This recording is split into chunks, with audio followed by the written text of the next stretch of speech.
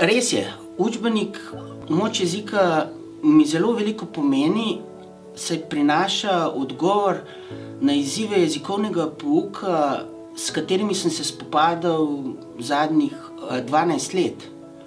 Je tisti kamenček, zadnji kamenček v mozaiku, ko odgovarjamo na vprašanje, zakaj po eni strani vsi delamo zelo dobro, po drugi strani pa so dijakinje in dijaki jezikovno vse manj samozavestni in imajo vedno več težav s knjižnim jezikom. Profesorice in profesorji pa se morate vedno bolj truditi, da jih dobro pripravite na maturo. Jezikovne razmere se vse čas spreminjajo. Vsak čas zahteva zato pri pouku jezika svoj poudarek. Ne velike spremembe, ampak poudarek. 12 let nazaj smo raziskovalci slovenskega jezika že zaznali, da bo potrebna sprememba v pristopu k slovenščini zaradi spreminjajočih se jezikovnih razmer povsod po svetu. Kakšne so, mislim, da vam niti ni treba razlagati. Odtlej smo sistematično razvijali ves potrebni aparat.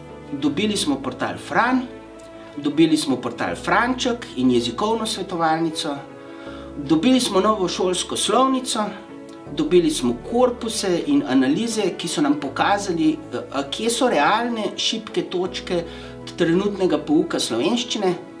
Spremljali smo rezultate in analize mature in nacionalnih preverjanj znanj v osnovni šoli in zdaj je bilo na tej osnovi mogoče pripraviti tudi nov učbeniški komplet. Zakaj?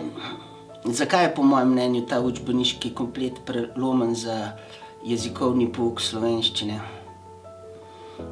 Na kratko zato, ker bo omogočil boljši uspeh na maturi in večjo jezikovno samozavest ter kultiviranost dijakinj in dijakov.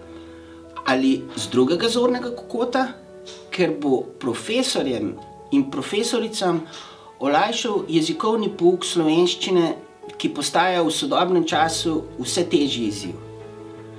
Ne smemo pozabiti, da si vsak od nas želi, res iskreno želi, ves čas želi obvladati svoj knjižni jezik. Če dobi občutek, da mu to uhaja iz rok, pa se zateče k brezbrižnosti do njega. A to je zgolj obrambni mehanizem. Naš sistem zato motivira tudi najmanj sposobne dijake.